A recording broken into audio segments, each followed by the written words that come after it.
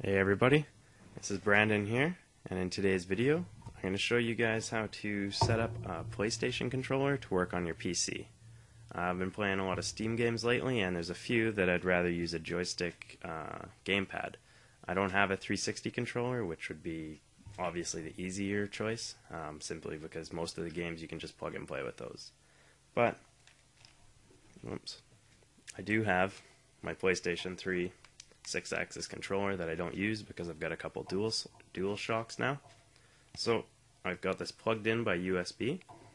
Uh, you're going to need that first. So when you first plug it in, you're going to get down in the bottom right, you're going to get a pop-up that says it's installing drivers. These are Microsoft's default drivers that it thinks will work for this, but they don't work. Uh, so you're going to need to install a custom driver. And I'm going to show you how to do that right now. So you're going to go to Google uh, you're going to type in motion in joy, one word, and search that. And you can see here the top result. Uh, you're going to go to drivers for Windows. Now this, I'm doing this on a Windows 7 64-bit installation. And I'm going to select the newest version here and download it. You can see it works for 32 and 64-bit all in one. Uh, you're going to click on it, hit save file, and you can see it download. You can see I've already done this. Open containing folder, and you're not going to get, you're going to have one that looks like, like this one here. You're going to want to unzip that into this folder. So I'm going to right click, and I use 7-zip. You can use WinZip or WinRAR or whatever you want. Uh, I'm going to use extract to MotionJoy 07 1001, and it's going to create this folder here. Now simply run this as admin and hit yes.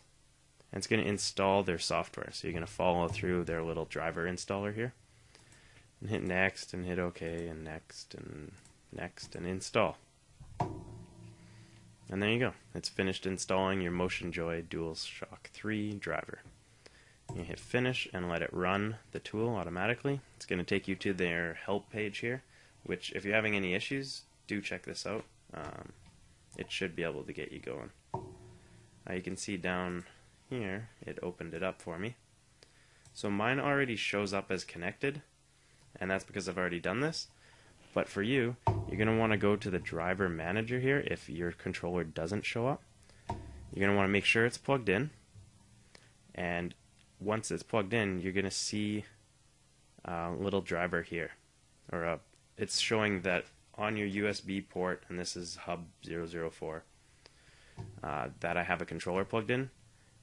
Yours won't have this check mark here next to the MotioninJoy. So you're going to select it by hitting a check mark there and hit load driver to load it. And when you do that, you can get a little window down here. There it goes. And you want to see success MotioninJoy driver successfully installed. So once you get that going, still thinking. You can see my dog Drake oh, over there. Super entertained right now. He fell asleep about 10 minutes ago. But I'm sure once I turn on the volume of some games, he'll be back up again. Alright, now go back to profiles, and it should connect your game controller.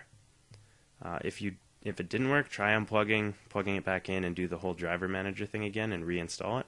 It should work. Now you can choose which mode you want it to run on.